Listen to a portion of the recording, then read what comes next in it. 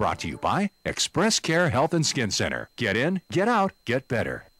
Welcome back. If you're just joining us, Dr. Jitka Lom is here to help us better understand and get a clearer view of common visual problems. Let's get now to our viewer questions. Mary from Santa Rita asks, I see spots of light or zigzags of light before I get a migraine. Is that normal and what causes it? It's very common. That is called an aura and many people with so-called classic migraine will get that about 20 minutes up to maybe even a day before they get their migraine headache. And eh, like we were mentioning earlier, it's a situation where your brain cells are firing off messages independently of what you're seeing with your vision. So that's an interesting thing because your perception is not the same as your vision that day that's interesting. Is there any way to prevent that? Uh, no way to prevent unless you know that there's a trigger for your migraine. But if you do see an aura, you know for sure your migraine's coming, and you should at that moment take your medication to try to abort the migraine. Okay, good to know. Mm -hmm. Stephanie from Yigo asks, my eyes twitch often when I haven't gotten a good night's sleep. What causes twitching? And how can I make it stop? That's fantastic. Yeah, around our eyes, each eye has six major muscles that make the eye move in different directions and they have to be coordinated. And then we have the muscles of the eyelids. Um, so lots of little muscles there. And when you're tired or stressed, um, those muscles can start firing independently of your brain and they're just doing their own thing and you get a little twitch and sometimes people other people can't see it but you can feel your own twitch and uh, that means it's time for a rest or maybe de-stressing. Or sometimes if it's long-standing, then I'll relax it with a tiny drop of Botox in their eyelid and just relax the muscles. Oh wow, it can be yeah. that serious then. Mm -hmm. Okay, Norma from Dededo asks, how do I know if my child is colorblind? That's a different one. Great question. Yes. Okay. So in children, um, boys are much more common, commonly colorblind than girls, about eight times as often as girls. And the most common color blindness is red and green. So if you have a young child that can't tell blocks apart, uh, you know the play blocks and they can't notice which one is red or green, then you might have a problem. Or sometimes stop signs, uh, stop lights also, they might not be able to tell which one is which. They might call it the top one and bottom one rather than red and green. Um, uh, in that situation, you might need to get your, eye, your eyes checked. And you can do this at home. You can Google something called Ishihara, I-S-H-A uh, Ishihara, however you spell that, um, plates. You could Google that, and it'll come up on your computer screen as a little, as a bunch of little dots with a number in the middle. And you can ask your child, "What number is this?" If they can see the number, then they're not colorblind.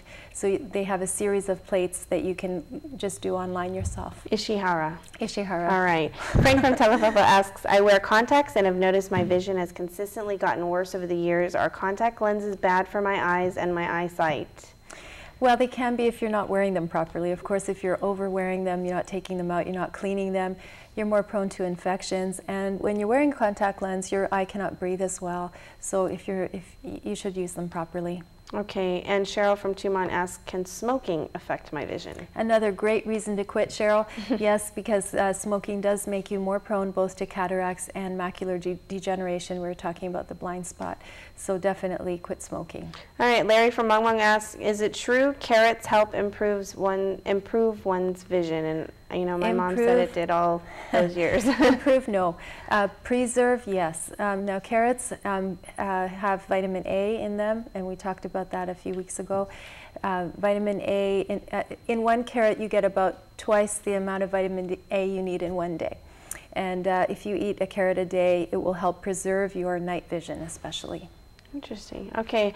And our last question comes from Edward from Yona. I have bad allergies, especially to gnats, and my eyes become irritated and swollen. How do I treat that? Yeah, great question. Okay, gnats are really common on Guam, and what you're having is an allergic conjunctivitis. The conjunctiva is the clear covering of your eye that goes down under onto your eyelid. It's kind of pink. It gets pink in pink eye. And um, gnats can be irritating to your conjunctiva. So if you know you're, it's gnat season, you're going to be exposed, take Claritin or Allegra before that even happens. You can take Benadryl by mouth, or you can pick up some drops over the counter. They're called Naphcon, or there's some one called Zaditan.